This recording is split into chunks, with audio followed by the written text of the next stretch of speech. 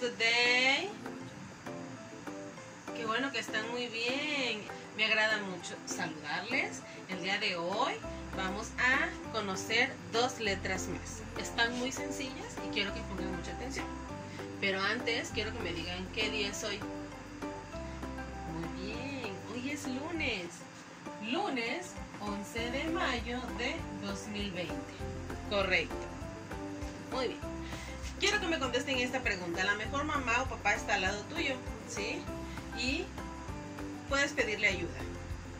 Quiero que me digan en cómo se llama tu país. ¿En qué país vivimos? ¿Quiero escuchar la respuesta?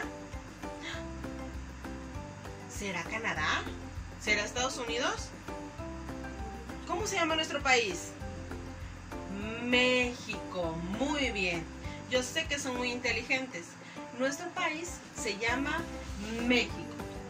Y yo escribí la respuesta. México. ¿Correcto? Ahora, nuestra nueva letra es la letra X. Por lo que yo les voy a pedir que cuando ustedes escriban México, obvio, la palabra México, su ropa de domingo, la letra M, va de color rojo. Pero nuestra letra escondida es la letra X. ¿Y quieren saber cómo suena nuestra letra X? Bueno, nuestro sonido es... A ver ustedes. No, no los escuché. Una vez más. ¿Cómo suena la letra X? Esta letra suena um, un poco diferente a las demás y no quiero que se confundan con las carretillas. Por lo que les voy a pedir que solo investiguemos en libros, en revistas, periódicos, palabras con esta letra y que las leamos, ¿de acuerdo? Y yo escribí dos palabras aquí. Taxi, examen. Una vez más, repitan conmigo. Taxi, examen. Ustedes solitos, a ver. Muy bien, taxi. Examen, correcto. Y cuando ustedes escriban, van a rodear la letra X. ¿Cómo dije que suena la letra X? Como si pronunciáramos la carretilla, sí, pero no muy definida. A ver, todos. Como cuando a veces queremos hablar a una persona así. Muy bien. Ahora ustedes. Correcto. Ahora vamos con otra letra que se llama la letra K, como muchos la conocen. Ahora, esta letra suena diferente. Suena... ¿Cómo suena? Ustedes solos. Muy bien, una vez más. Igual no les voy a nombrar las carretillas, porque se pueden confundir. Más adelante, conforme vayan creciendo, lo van a ir aprendiendo, ¿de acuerdo? Pero yo les quiero hacer una pregunta.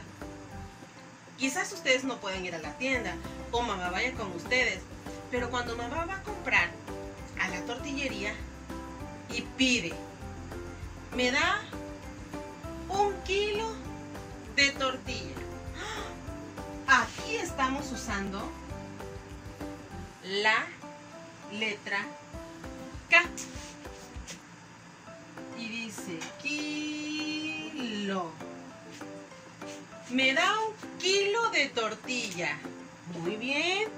Y obviamente despachan a mamá y listo, vamos a comer.